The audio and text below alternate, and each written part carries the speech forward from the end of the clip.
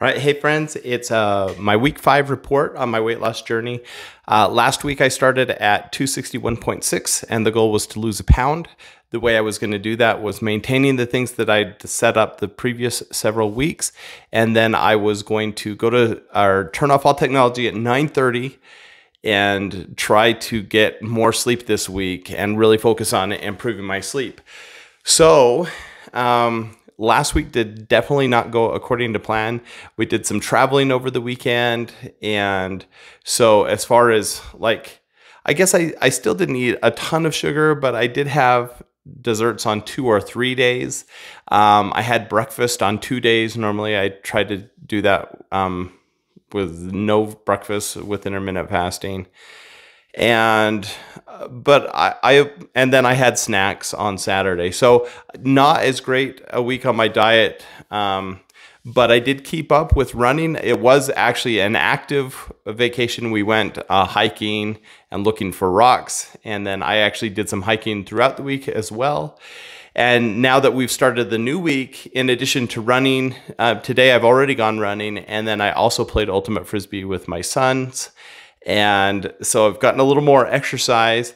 And so you would expect to have actually to have the weight go up quite a bit this week with the cheats that I had, but um, luckily because I did more exercising and because I was pretty disciplined with my diet 80 90% of the time, um, I actually pretty much stayed even. So I ended the week at 260 even, 262 even rather. So I gained like half a pound, but um, I'm okay with that. It didn't get me where I wanted to be, but all things considered, I feel like it was pretty good.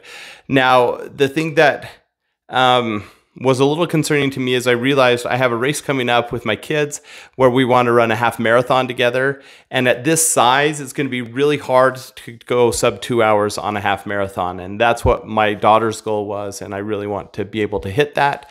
And so for my goal for this next week, it has to do with that. But let me actually talk about sleep for a minute. Um, I wanted to do some experiments. Last week, I explained how I'm trying to improve my sleep. And one thing that I did do this week is I, I met that one goal. I turned off technology at 9:30 every night, uh, even on vacation. And the result was I went to bed earlier most nights and then in the morning I tried to force myself go back to sleep. I'm not very very good at that normally. When I wake up even if it's 2 or 3 in the morning, once I'm up, I'm up and I get to work. But I thought let's try really hard to sleep uh, instead of averaging 5 or 6 hours a night, let's try to average more than that. And so I forced myself go back to go back to sleep every night. And I don't feel like it was the best sleep. In fact, I still felt grog in the morning. I don't feel like it changed the quality of my life at all.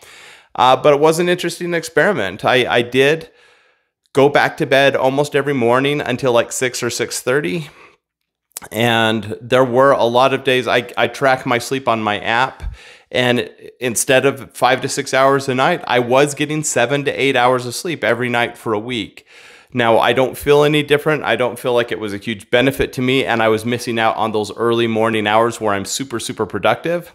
So I don't think I'm going to maintain this schedule, but it was good to see that I can fall back to sleep if I really try. And so maybe on the weekends, I'll continue trying to do that. And I do feel like there were some benefits of turning technology off earlier and going to bed um, a little bit earlier. So I don't know if I'm going to continue that every night but I think at least several nights a week, my goal will be to turn it off. Um, I started reading a book at night, and that's how I would settle in for the night. And and again, I don't feel like it helped me sleep any better. Um, but I don't know. I, I should give it some more time. So that's how I feel about that. For this week, my goal is so I want to get back to my diet goals. I want to be really disciplined with only eating meals, no snacks, no added sugar uh, and intermittent fasting every day. And I think that I can do that. I, I don't want to have any cheat days. I, I want to get to the point where I'm actually dropping some weight so that I can do well on this race. Uh, my goal for this week was actually to set up a training schedule that included both weight as and as well as workouts, which is for me, it's going to be running mileage and pace. And some days will be speed workouts, other days will be rest slow days. Um, but I went ahead and I already did that. So I have my training schedule. It's a four week training schedule. and it has me going from 262 this week to 259. So I'm going to drop, I'm going to try to drop three pounds every week uh, for four weeks. So I dropped 12 pounds total, get from 262 down to 250 for the race. And I feel that 12 pounds difference is actually going to make a difference. That alone, even if I wasn't getting stronger or faster, that alone is going to help me drop 10 to 15 minutes from my half marathon pace. I think right now, if I ran a half marathon today, I'd be right around 225. And so just dropping the weight is going to get me close to that two hour mark. But then I've intentionally designed a few speed workouts to continue to drop my pace. And I think that um, goal of hitting two hours in for a 13 mile race, I think that's doable.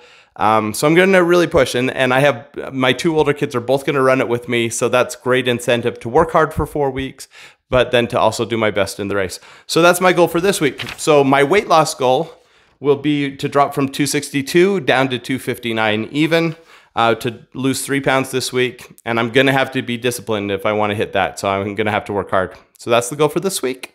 Thanks. Bye.